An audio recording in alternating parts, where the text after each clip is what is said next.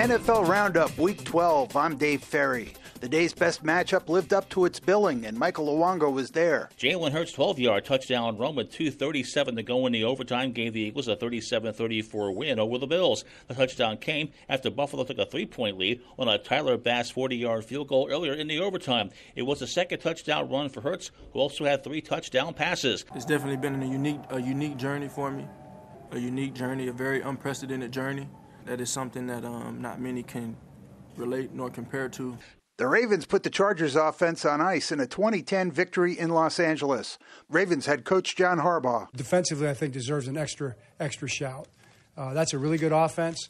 Uh, the pressure, the coverage, and the turnovers were big. Baltimore didn't allow a TD until Justin Herbert hit Gerald Everett for a three yard score with 8.32 left. Lamar Jackson put the AFC North leaders ahead for good with a three yard TD pass to Zay Flowers early in the second quarter. Flowers later sealed the win with a 37 yard TD run after the two minute warning. Don't look now, but the Broncos are legitimate wildcard threats. Bruce Morton reports. The Broncos won their fifth straight game down in Cleveland 29 to 12. Russell Wilson led the way, throwing for one touchdown and running for another. We knew that this was going to be a long, drawn-out game. They've, they've won a lot of close games, these guys, and they're you know, obviously they've uh, coached extremely well, talented team.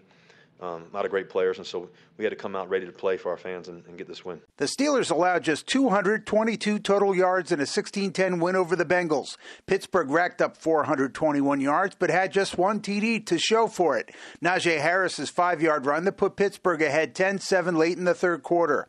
The Steelers settled for three Chris Boswell field goals as Kenny Pickett threw for 278 yards. Felt like every drive we were, you know, having productive drives, uh, moving the ball really well. Jake Browning made his first start since Joe Burrow broke his right wrist, throwing for 227 yards and one interception. The Jaguars are closer to a playoff berth. Adam Spillane has details. The Jaguars increased their AFC South lead to two games after beating the Texans 24 21. The Texans had a chance to tie it, but Matt Ammendola's 58 yard field goal hit off the crossbar with no time remaining.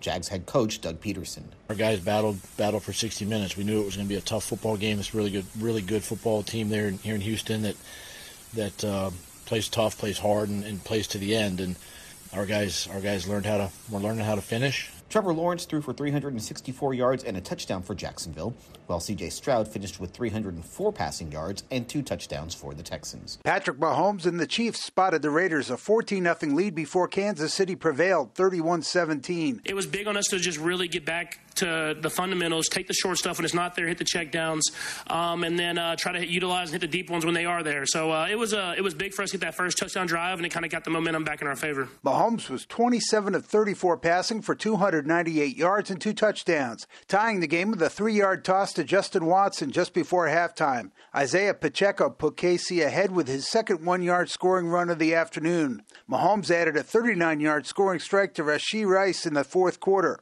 Rice had eight catches catches for 107 yards. Elsewhere, Jonathan Taylor ran for two scores, and the Colts came up with a late turnover in their third straight win, 27 20 against the Buccaneers. The Titans stopped the three game skid as Derrick Henry ran for two scores and a 17 10 decision over the Panthers. Bijan Robinson grabbed a fourth quarter touchdown pass from Desmond Ridder as the Falcons beat the Saints 24 15, leaving both teams tied for first in the NFC South. The Rams were 37 14 winners over the Cardinals behind Matthew Stafford's four scoring passes, and the Giants scored 10 points off turnovers turnovers before the Patriots missed a 35 yard field goal with two seconds left to give New York a 10 7 win. I'm Dave Ferry, AP Sports.